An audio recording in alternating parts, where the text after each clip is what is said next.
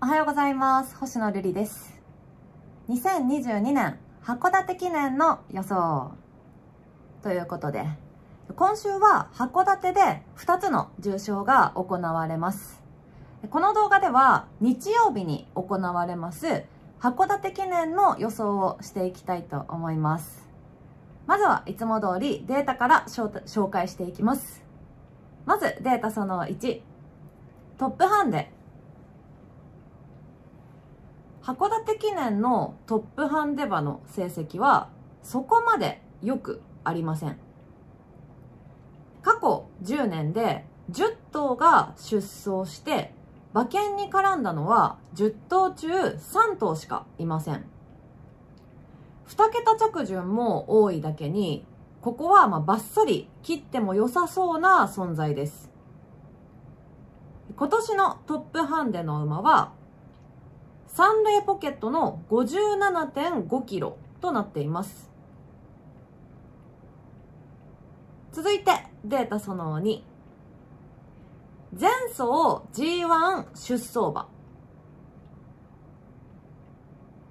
ハンデ重賞ということもあってか、重いハンデになりがちな前走 G1 出走馬の成績はあまり良くありません。過去10年で16頭が出走して、馬券に絡んだ馬は16頭中3頭しかいません。グランディ、グランデッツァ、東海パラダイス、エアスピネルなどの人気馬が人気を裏切って敗退していますので、ここは評価を下げた方がいいです。馬券に絡んでいるタマモベストプレイ、山勝ライデン、山勝エースなどは人気薄で激走しているので、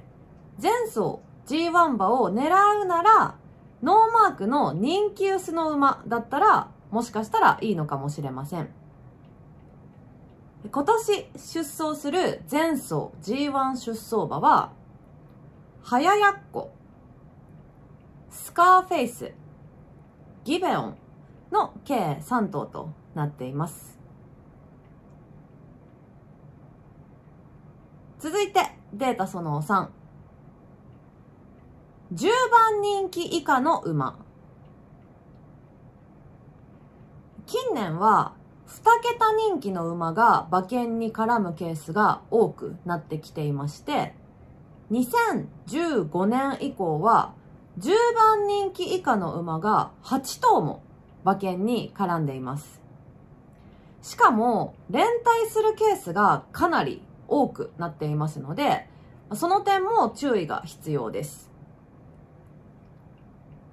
ハンデ重賞ということもあって、単勝オッズは、買い人気の単勝オッズがかなりコロコロと入れ替わる可能性があるので、締め切り直前まで待って、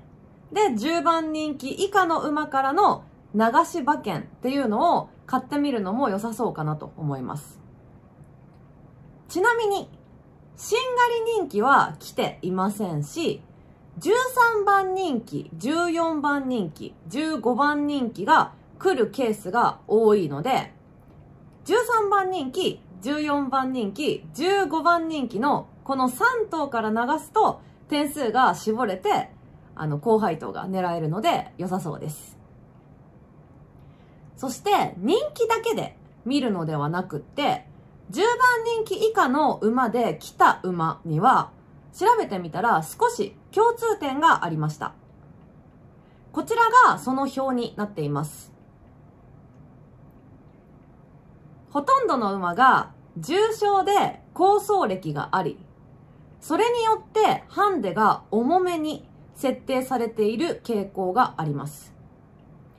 そして、金層が不振のためにかなり人気のない状態になって構想するというケースです。軽ハンデをもらって激走しているわけでもないので、なぜ函館記念で復活するのかというのはわからないんですが、やはり涼しい気候や滞在競馬が合うのかもしれません。滞在競馬だと最終追い切りで販路調教やウッド調教もないので、そういった軽めの調教も構想に結びついているという可能性もあります。今年、過去に重賞実績があって、かなり人気薄になりそうな馬は、ランフォザローゼス、ジェネラーレウーノ、サトノクロニクル、アドマイヤ・ジャスタあたりになるんじゃないかなと思います。ランフォザローゼスは今年のダイヤモンドステークスで2着と復調の気配が出て、ジェネラーレウーノは前走59キロから一気に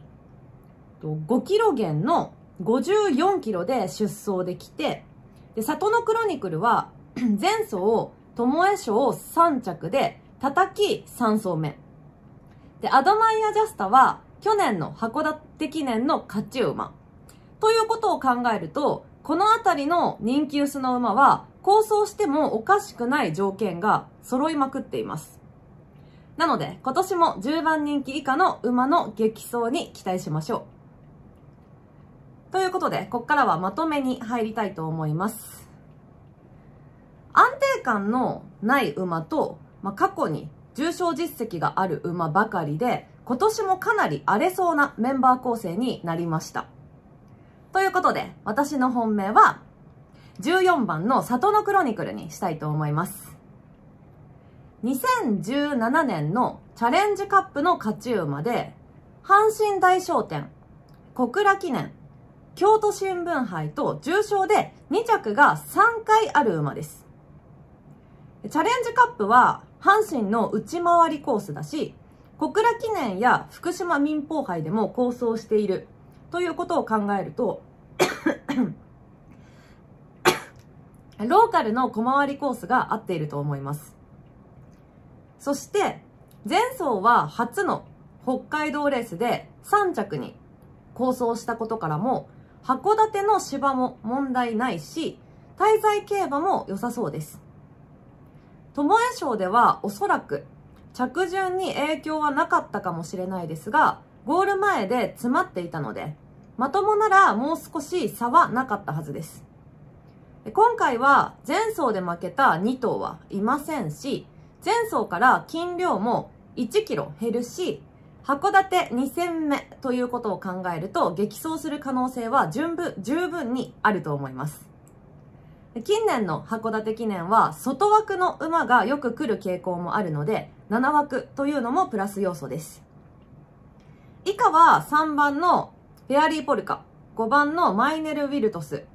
9番の新た、10番のウィン・エクシード、16番のランフォザ・ローゼスまで。ということで、買い目なんですが、ここは3連複で流したいと思います。なので、14番から相手が3、5、9、10、16の10点。まあ、こちらを資金配分して購入しようかなと思っています。また、当日の傾向、パドックの状態、馬体重の増減やオッズを見て、追加の馬券や買い目を変更するということがありましたら、ツイッターに書きたいと思います。締め切り直前に13番人気、14番人気、15番人気の3頭から流すっていう買い目も買おうと思ってるんですけど、まあ、これは直前に買いたいので、ツイッターでは書かないかもしれません。皆様も参考にしてみてください。じゃあ、2022年函館記念の予想、こんな感じで終わります。参考にしてみてください。じゃあ、またね